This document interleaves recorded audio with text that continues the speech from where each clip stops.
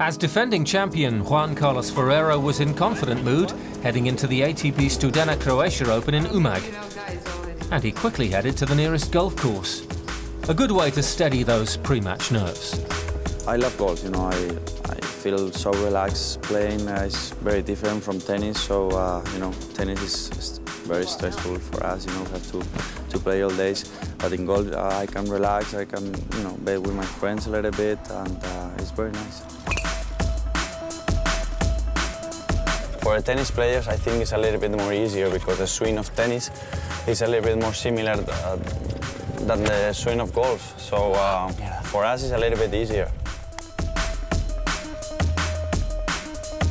I play with um, Rafa because he's at the same level as me, I think, and uh, we can enjoy together.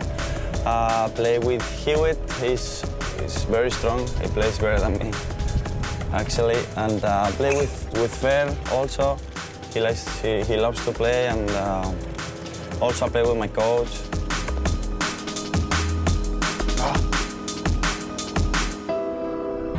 Ferrero has also been planning for his future. He's part owner with fellow player and countryman David Ferrer of the Valencia Open. Originally a modest clay court tournament held in the spring, they've transformed it into an elite ATP World Tour 500 hard court tournament, held at one of the most stunning venues on the circuit, the Agora, in the City of Arts and Sciences.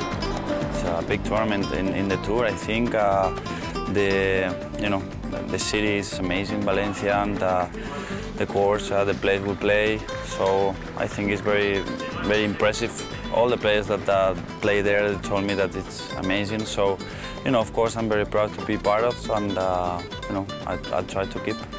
He's already achieved so much in his career and still has an eye on more success.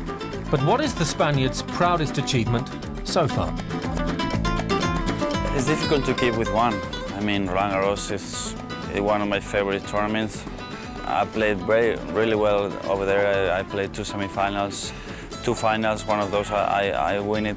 So, of course, it's one of my favorites. But uh, you know, to be a number one is also special. Uh, be part of the team that uh, win the Davis Cup is also very special. So, it's difficult to get one. Juan Carlos grew up playing on clay, winning the 2003 Roland Garros crown on the red dirt. But his aggressive style is suited to all surfaces. He was a US Open finalist in 2003 and has made the last eight at Wimbledon twice. Of course, I like clay courts, but uh, of course I played uh, really nice tournaments on grass or on hard court. So I think a tennis player right now has to play good in every surface, not only in one. But of course, as you said, play my favorite surface. Spain currently dominates the world game. Juan Carlos was one of the early trailblazers for the current armada. But what does he believe is the secret to his country's success? I think we have uh, great uh, academies, great coaches. The weather is, so, is most of the time very nice. Uh, we have the opportunity to, to play when uh, we are very young. Uh, futures in Spain, there's a lot, a lot of futures and a lot of challenges. Uh, I think it's the more important tournament to start to, you know, to, to going into the tour. So I think this case is it's very important for us. As the current battle for the number one spot burns white hot, does this former world number one believe his countryman Rafa Nadal can go back to the top, above the imperious Novak Djokovic? What Djokovic did this year is amazing, so I think he deserves to be a number one right now.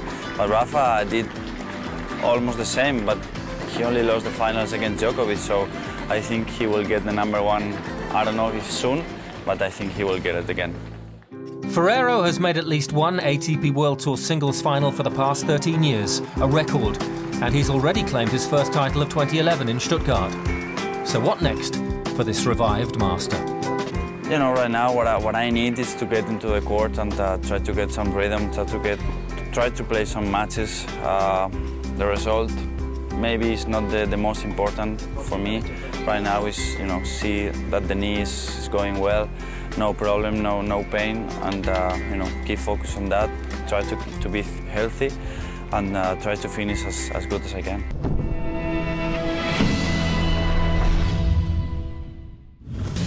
Next week on ATP World Tour Uncovered, on tour with Novak. We're with the world number one and his girlfriend Jelena Ristic in London.